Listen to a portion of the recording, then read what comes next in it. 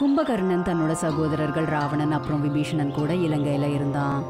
ராட்சசர்கள்ன்றதுனால மூணு பேரும் மாயாவி போர் வீரர்களா இருந்தாங்க. ஆனா கும்பகர்ணனோட தனித்துவம் எல்லாரை விட வித்தியாசமா இருந்தது. அவரோட உடம்பு எவ்வளோ விசாலமா இருந்ததுன்னா அவர் நடந்துட்டு இருக்கும்போது பூகம்பமே வர மாதிரி இருக்கும். அவர் சத்தமா கத்துறது கேட்டு சிங்கங்களும் ரொம்பவே பயந்து போய் குகைக்குள்ள ஒளிஞ்சுக்கும்.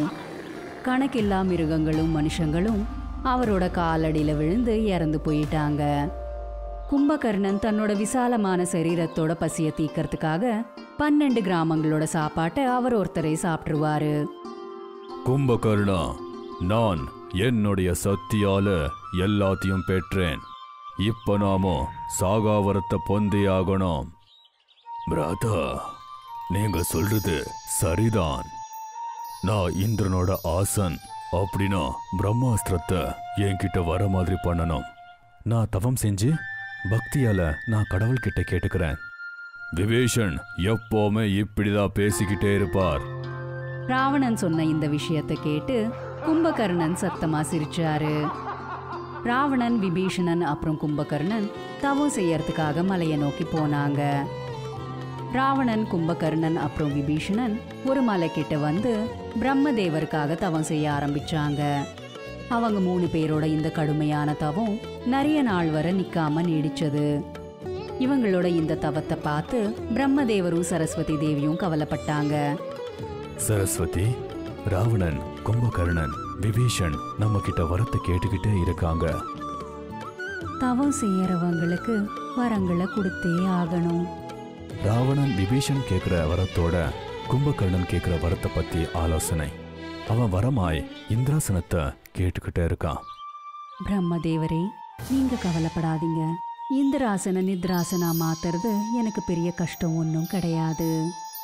இப்படி சொல்லிட்டு சரஸ்வதி தேவி சிரிச்சாங்க. சரஸ்வதி தேவி சொன்ன இந்த விஷயத்த பிரம்மதேவருக்கு புரியறதுக்கு ரொம்ப நேரம் எடுக்கலை. ராவணன் கும்பகர்ணன் அப்புறம் விபீஷணன் தொடர்ந்து தவம் செஞ்சுக்கிட்டே இருந்தாங்க. நாட்கள் கடந்து போயிட்டே இருந்தது. காலங்களும் மாறி போயிட்டு இருந்தது ஆனா இந்த மூணு பேரும் மட்டும் எப்படிப்பட்ட காலமா இருந்தாலும் நிக்காம தவம் செஞ்சுக்கிட்டே இருந்தாங்க. கடைசியில பிரம்மதேவர் ராவணனுக்கு தனக்கு வேண்டிய வரத்தை கொடுத்து கும்பகர்ணன் கிட்ட வந்தாரு. கும்பகர்ணா கண்ணை தர. சொல்லு உனக்கு என்ன வர வேண்டும்? கும்பகர்ணனோட நாக்கு மேல சரஸ்வதி தேவி உட்காந்துக்கிட்டாங்க அப்புறம் அவங்களோட சக்தியால கும்பகர்ணனை இந்திராசனன்னு சொல்றதுக்கு பதிலா நித்ராசனன்னு சொல்ல வச்சாங்க. வணங்குகிறேன் பிரம்மதேவா. நான் உங்ககிட்ட நித்ராசனத்தை கேக்குறேன். ததாஸ்தோ. ராவணன் கும்பகர்ணன் அப்புறம் விபீஷணன் பிரம்மதேவர் கிட்ட இருந்து வரங்களை வாங்கிக்கிட்டு இலங்கைக்கு திரும்ப வந்துட்டாங்க. பிரம்மதேவர் கிட்ட இருந்து கிடைச்ச வரத்துப்படி இனி கும்பகர்ணன் வருஷம் முழுக்க நித்ராசனத்திலேயே இருப்பாரு. அதாவது அவர் ஒரே ஒரு நாள் மட்டும்தான் முழிச்சிருப்பாரு. அப்புறம் ஆறு மாசம் வரை தொடர்ந்து தூங்குவாரு. பிரம்மதேவர் சரஸ்வதி தேவியோட உதவியால கும்பகர்ணனுக்கு எதிராக செஞ்ச சதி திட்டத்தை பார்த்து ராவணனுக்கு ரொம்பவே கோபம் வந்தது. இதனால ராவணன் தேவர்களை பழி வாங்கிய தீருவேன்னு சபதம் செஞ்சாரு. நான் பிரம்மனை இதுக்காக பழி வாங்கியே தீருவேன். சாந்தமாகுங்கள் சாந்தமாகுங்கள். நான் தொங்கிக்கிட்டே இருக்கும்போது கூட இந்த லங்கைக்கு ஏதாச்சும் ஆபத்து வந்துச்சுன்னா அது மட்டும் இல்லாம உங்க உயிருக்கு ஏதாச்சும் ஆபத்து ஏற்பட்டுச்சுன்னா என்ன நீங்க எழுப்பி விடுங்க. ராவணா நான் உங்களுக்காக என் தூக்கத்தை மட்டுமில்ல என்னோட உயிரையே கூட தியாகம் பண்ணுவேன். நீங்க கவலைப்படாதீங்க. பிரம்மதேவன் நம்மளை ஏமாத்திருக்கான். அப்படி பண்ணதுனால என் உடம்புக்கு ஒரு பெரிய ஓய்வு கிடைக்கும். நான் எந்திரிச்சேன்னா இந்த உலகத்தோட எல்லா சாப்பாடும் நான் ஒருத்தன் சாப்பிடுவேன். கும்பகர்ணன் அண்ணன் சரியா தான் சொல்றாங்க. இதுக்கு நான் ஒத்துக்கிறேன். சும்மா இரு விபீஷன். கும்பகர்ணா இப்ப பாரு நான் பெற்ற வரத்தால இந்த உலகத்துல நான் என்ன பண்ண போறேன்னு பாரு.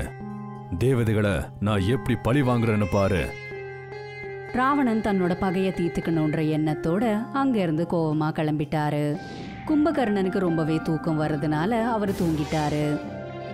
பிரம்மதேவர் கும்பகர்ணனுக்கு செஞ்ச துரோகத்துக்காக இதுக்கான பழிய வாங்க ராவணன் ஆக்ரோஷமா இலங்கையிலிருந்து கிளம்பினாரு. ராவணன் சீதையை அபகரிச்சிட்டாருன்ற விஷயத்த கும்பகர்ணனுக்கு சொல்ல நினைச்சாரு. இதனால கும்பகர்ணனை எழுப்பினாங்க. கும்பகர்ணா சீதைய நான் கடத்தி உனக்கு ஏற்பட்ட இந்த அநியாயத்தை நான் முறியடிச்சிட்டேன். அண்ணா நீங்க தேவி சீதைய நீங்க கடத்தி பெரிய தப்பு பண்ணிட்டீங்க. ராவணன் அதை பத்தி எல்லாம் கவலைப்படவே மாட்டான். ஆனா அதுக்கு நாம யுத்தத்தை எதிர்க்கணும். யுத்தத்தை பார்த்து பயப்பட மாட்டான் இந்த ராவணன். ராவணனும் ராமரோட யுத்தம் செய்யறதுக்காக போர்க்களத்துல இறங்கினாரு. ரெண்டு பேருக்கும் நடுவுல பயங்கரமான போர் நடந்தது. அப்புறம் கும்பகர்ணனை எழுப்ப சொல்லி கட்டளையிட்டாங்க. சேனைகளும் சேவகர்களும் கும்பகர்ணனை எழுப்ப முயற்சி செஞ்சாங்க. அவரை எழுப்பறதுக்காக ஈட்டியாலையும் கத்தியாலையும் குத்தினாங்க. காது கிட்ட டோலாக்கும் வாசிச்சாங்க. அப்புறம் ஒரு ஏணியை போட்டு அவரோட உடம்பு மேல ஏறி சேனைகள் எல்லாம் சேர்ந்து அவரோட உடம்பு மேல கத்திகளால குத்தினாங்க. இவ்வளோ முயற்சிகளை செஞ்சும் கூட அவர் ஏந்திரிக்கவே இல்ல. கடைசியா அவரோட கண்ணு மேல தண்ணிய கொட்டினாங்க. இதனால கும்பகர்ணர் கோவமா முழிச்சுக்கிட்டாரு. இத பார்த்து அங்க இருக்கிறவங்க எல்லாம் பயந்துட்டாங்க. என்ன தூக்கத்துல இருந்து எதுக்கு எழுப்புனீங்க? திடீர்னு உங்களுக்கு என்ன ஆச்சு? ராஜா தான் உங்களை எழுப்ப சொன்னாங்க. ராவணன் சொன்னாங்களா? எங்க இருக்காங்க? போர்க்களத்துல ராமன் லக்ஷ்மணன் கிட்ட சண்டை போடுறாங்க. யுத்த சமாச்சாரத்தை பத்தி கேட்டதும் கும்பகர்ணன் ரொம்ப கவலைப்பட்டாரு. உடனே ராவணனுக்கு உதவி செய்யறதுக்காக போர்க்களத்துக்கு கிளம்பி போனாரு. ராவணன் போர்க்களத்துல காயப்பட்டு திரும்ப வந்திருந்தாரு. இன்னொரு பக்கம் போர்க்களத்துல கும்பகர்ணன் ராமரை யுத்தம் செய்ய சொல்லி தூண்டினாரு. ராமா ராமா போருக்கு நான் தயார். கும்பகர்ணா நீ என்னுடைய எதிரி இல்லை. உங்க எதிரி ராவணன். அவன் என்னோட சகோதரன். ஆகையால் அவனை காப்பாற்ற வேண்டியது என்னோட பொறுப்பு. கும்பகர்ணா நீ அதர்மத்தை தர்மம்னு சொல்ற. ராவணன் சீதா தேவியை கடத்தி வச்சிருக்காங்க. ஆகையால் அவன் நாசமாகணும். சீதா தேவிக்கு இப்படி நடந்தது எனக்கும் கூட வருத்தமா இருக்கு. ஆனா என்னோட நாடு என் நாட்டு ராஜாவை காப்பாத்துறது என்னுடைய கடமை. அப்படி நான் போருக்கு தயாராக. கும்பகர்ணனுக்கும் ராமருக்கும் நடுவுல போர ஆரம்பிச்சது. ராமர் கும்பகர்ணனை அம்புக்களால தாக்கினாரு. அதை எல்லாத்தையும் கும்பகர்ணன் குச்சிகள் மாதிரி தூக்கி போட்டுட்டு இருந்தாரு. ராமருக்கும் கும்பகர்ணனுக்கும் நடுவுல பயங்கரமான போர் நடந்தது.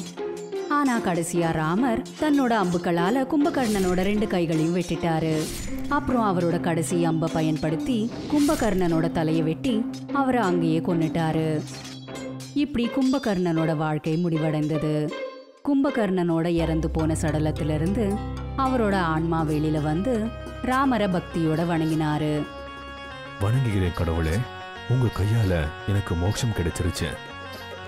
நான் இந்த ஜன்மத்துல இருந்து முழுமையா விடுதலை அடைஞ்சிட்டேன். பிரபு என் அண்ணன் ராவணனை நீங்க மன்னிச்சிருங்க. ராமர் கும்பகர்ணனோட ஆன்மாவை ஆசிர்வதிச்சாரு. அப்புறம் கும்பகர்ணனோட ஆன்மா சொர்க்கத்துக்கு போனது. இப்படி கும்பகர்ணன் தனக்கு முக்தி கிடைச்சதுன்னு ரொம்பவே சந்தோஷப்பட்டாரு. ராவணன் லங்காதிபதி இலங்கேஸ்வரன் ராவணேஸ்வரன் தசானந்தன் தசகிரீவன் சரியான அறிமுகத்திற்கு ராவணின் பெயர்களே போதுமானது. மகரிஷி புலஸ்தியரின் மகனான வீஷ்ரவாவின் மகன் கைகசியோட நந்தனான ராவணன் தன்னுடைய மாற்றான் தாயின் மகனான குபேரரை தோற்கடித்து இலங்கையின் அதிபதி ஆனார் ராவணன். இலங்கையின் பிரஜைகள் ராவணனை வாழ்க வாழ்க என்று கோஷமிட்டது. தேவர்களும் தேவியர்களும் வாழ்க வாழ்க எனும் இந்த கோஷத்தை பார்த்து பயந்து அவர்களின் கவனம் சிதறியது. பூமி மாதா பிரம்ம தேவரிடம் அவர்கள் தன்னுடைய வருத்தத்தை சொல்ல ஆரம்பித்தார்கள். காப்பாற்றுங்கள் பிரம்மதேவா காப்பாற்றுங்கள். பிருத்வி தேவி நீங்க பிரம்மலோகத்துல பாதுகாப்பா இருக்கலாம். பிரம்மதேவா நான் பாதுகாப்பாக இருக்கிறேன். ஆனால் என்னுடைய பூமி என்னுடைய நிலம் என்னுடைய வசுந்தரங்கள் பாதுகாப்பாக இல்லை. ராவணன் பாதாள லோகத்திலிருந்து புறப்பட்டு இலங்கையோட அதிபதியா ஆயிட்டாரு. பிருத்வி தேவி இப்ப ராவணனோட பாவத்திற்கு எந்த ஒரு தண்டனையுமே இல்லை. அதனால நான் படைச்ச எல்லாத்தையும் என்னால பாதுகாக்க முடியாது. இதுக்கு அர்த்தம் என்ன? என்னுடைய கண்கள் இன்னும் நிறைய அழிவுகளை பார்க்க வேண்டுமா? நீங்க கோவப்படாதீங்க தேவி. பகவான் விஷ்ணு கடைசியில ராவணனை அழிச்சிருவாரு. பூமி தாய் தன்னுடைய வேதனைகளை முறையிட்டு சென்று விட்டார்கள். பிரம்மதேவர் ராவணனின் முடிவுக்காக காத்திருக்க ஆரம்பித்தார். மாதா கைகசியோ ராவணன் செய்யும் அட்டுழியங்களை ஊக்குவிப்பதன் மூலம் அவனுக்கு உலகத்தையே வெற்றி பெற வேண்டும் என்று ஆசிர்வாதத்தை அளித்தார்கள். மாதா கைகசி சொன்ன அறிவுரைகளுக்கு உடன்பட்டு ராவணன் தவம் செய்வதற்காக காட்டை நோக்கி செல்ல ஆரம்பித்தார். பிறகு காட்டில் தனிமையில் அமைதியாக இருந்து மிகுந்த பக்தியோடு சிவபெருமானை சந்தோஷப்படுத்துவதற்கு தவம் செய்ய ஆரம்பித்தார். ஓம் நம சிவாய ஓம் நம சிவாய ஓம் நம சிவாய. ராவணனின் இந்த தவம் கைகைசியின் அகங்காரத்தை இன்னும் அதிகமாக்கியது. ஆனால் தேவலோகத்தில் கவலை மேகங்கள் திரள ஆரம்பித்தது. சுவாமி ராவணன் செய்யும் தவம் தர்மத்திற்கு இணக்கமானது. ஆனால் வரம் பெறுவதின் நோக்கம் என்னவோ அநீதியை நமக்கு சுட்டி காட்டுகின்றது தேவி தவம் செய்கிறவங்களுக்கு நிச்சயமா ஏதாவது ஒரு வரம் கிடைச்சே ஆகணும். இதுதான் விதியோட விளையாட்டு. காலம் கடந்து கொண்டே போனது. வானிலைகளும் மாறியது. ஆனால் ராவணனோ தன்னுடைய இடத்தை விட்டு அசையவில்லை. ஆனால் சிவபெருமானோ மகிழ்ச்சி அடையவும் இல்லை அங்கு தோன்றவும் இல்லை. அதனால் ராவணனுக்கு மிகவும் கவலையாயிற்று. அவருடைய கவனம் நின்றது. என்னுடைய தவம் வெல்லட்டும். என்னுடைய ஆசை என்னுடைய நேர்மை என்னுடைய விசுவாசம். எதுவும் அந்த சிவனோட பாதங்களை போய் சேரலையா? அதனால தான் அவர் என் முன்னாடி தோன்றலையா? எனக்கு அவர் காட்சி அளிக்கலையா? நான் என் தலையையே வெட்டி அவரோட பாதங்களில் சமர்ப்பிக்கலான்னு முடிவெடுத்திருக்கேன். ராவணன் தன்னுடைய வாளால் தன்னுடைய சிரத்தை வெட்டி சிவலிங்கத்திடம் சமர்ப்பித்தார். சிவலிங்கத்திலிருந்து ஒரு ஒளி தோன்றியது. பிறகு ராவணனின் தலை மறுபடியும் உடலோடு சேர்ந்தது. எனக்கு மறுபடியும் உயிர் கொடுத்ததற்காக உங்களுக்கு நன்றி கடவுளே. ஆனால் நீங்கள் என் கண் முன்னாடி தோன்றி எனக்கு வரத்தை கொடுக்குற வரைக்கும் நான் என் தலையை வெட்டி உங்கள் முன்னாடி வைக்கிறத நிறுத்தவே மாட்டேன். ராவணன் தன்னுடைய வாளால் மறுபடியும் தன் சிரத்தை வெட்டி சிவலிங்கத்திற்கு அர்ப்பணித்தார். சிவலிங்கத்திலிருந்து மறுபடியும் பிரகாசமான ஒளி தோன்றி ராவணனின் தலையை மறுபடியும் அவருடைய உடலோடு சேர்த்தது.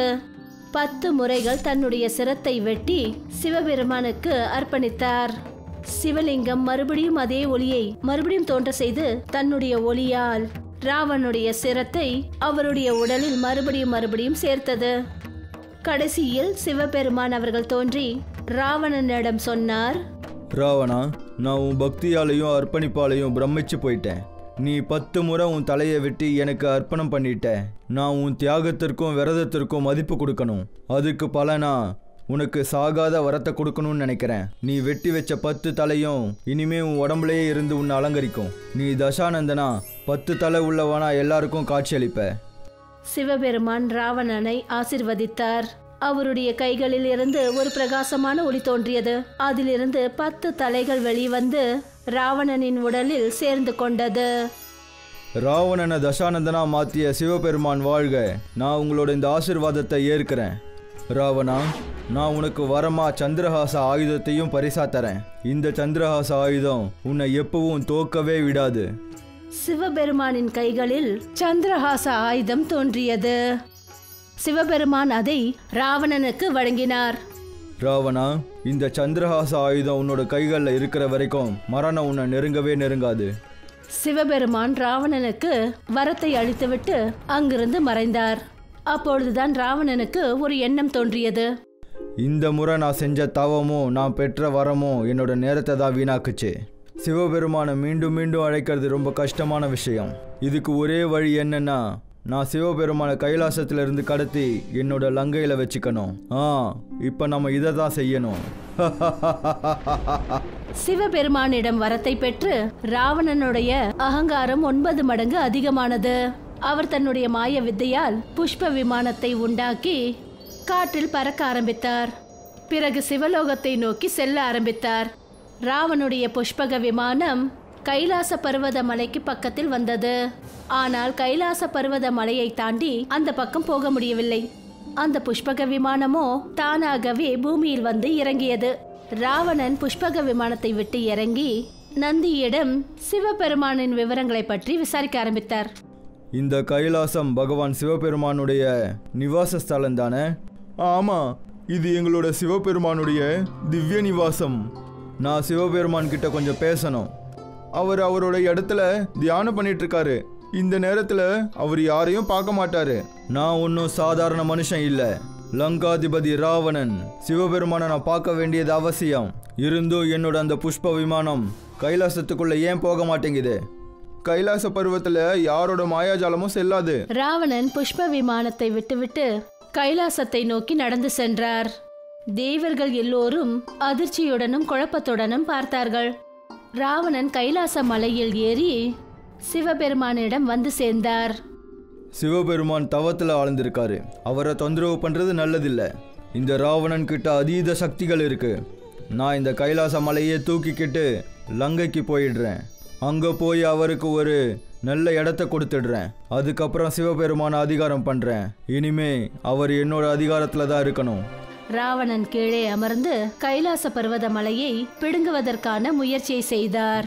ஆனால் சிவபெருமானோ ராவணனுடைய இந்த அகங்காரத்தை தன்னுடைய மனக்கண்ணால் பார்த்து சிரிக்க ஆரம்பித்தார். ராவணன் மலையின் ஒரு பகுதியை தூக்குவதில் வெற்றி அடைந்து விட்டார். சிவபெருமான் தன்னுடைய கால் கட்டவிரலை கைலாச மலையின் நிலத்தில் வைத்தார். அதனால் அந்த மலையோ மறுபடியும் நிலத்தில் இறங்கியது.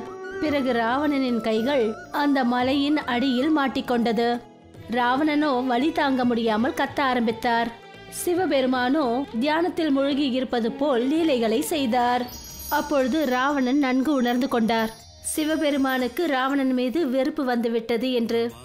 அதனால் ராவணன் தன்னுடைய தெய்வத்தை மகிழ்விப்பதற்காக சிவருத்ராஷ்டகத்தை பாட ஆரம்பித்தார்.